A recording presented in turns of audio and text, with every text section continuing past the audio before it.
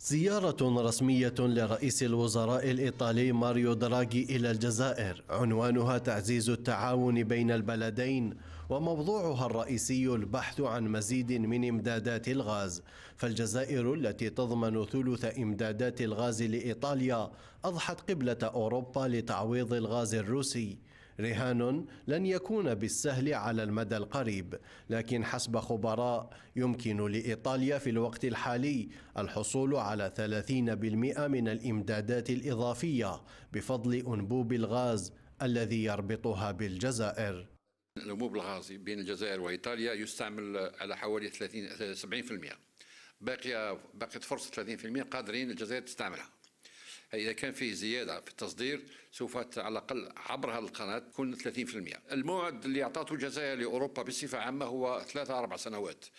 شرط أن يكون فيه استثمار قوي من طرف مشاركة المالية أوروبية. ولماذا لا؟ حتى بعض المنظمات المالية الدولية في تنقيب في البحث إلى آخره. وشكلت إيطاليا خلال الثلث الأول من عام 2021 الوجهة الأولى لصادرات الغاز الجزائري بحجم إجمالي قدره 6.4 مليار متر مكعب. أي بزيادة قدرها 109% مقارنة بعام 2020 وتبقى هذه الأرقام مرشحة للارتفاع بعد توقيع اتفاقيات شراكة بين مجمع الطاقة الإيطالي إيني ومجمع سونطراك الجزائري.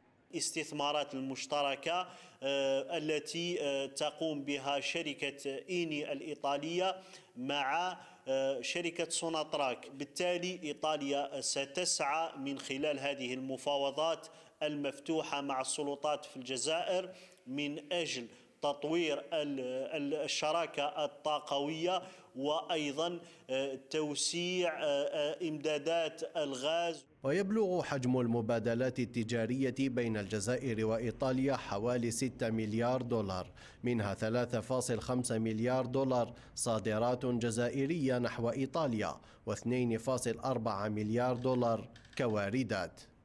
ويرى مراقبون أن إيطاليا لا تتحدث بلسان حالها فقط مع الجزائر بخصوص ملف الغاز بل جاءت كمفاوض عن الاتحاد الأوروبي بحكم علاقاتها العريقة والاستراتيجية مع الجزائر فيما ستتضح الرؤية بشكل أفضل خلال زيارة الرئيس الجزائري إلى إيطاليا شهر مايو المقبل. حسن جزيري قناة الغد الجزائر.